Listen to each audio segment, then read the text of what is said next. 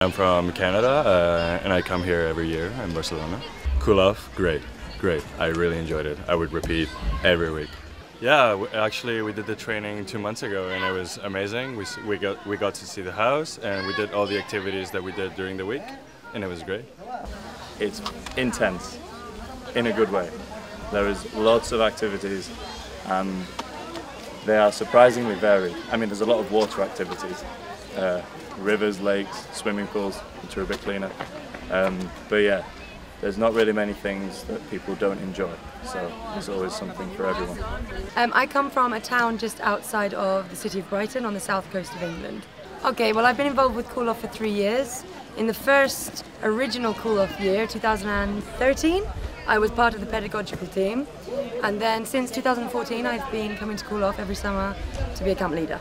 Fantastic. I'm not sure who had more fun, the kids or the camp leaders, but everything great. Everybody had a great time. Very fun, very dynamic, and um, well, just great.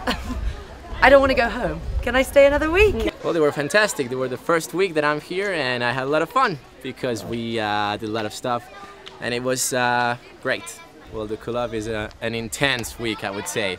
I think that's the, the adjective to uh, kind of to uh, describe them, because it's uh, from I don't know 8 in the morning until 10:30 in the night. We're doing things all the time. We're going to the river. We're uh, doing games. We are well, even when we're eating, we're doing, uh, we're practicing English, we're having fun, we're dancing, so, so that, that's the thing, it's intense.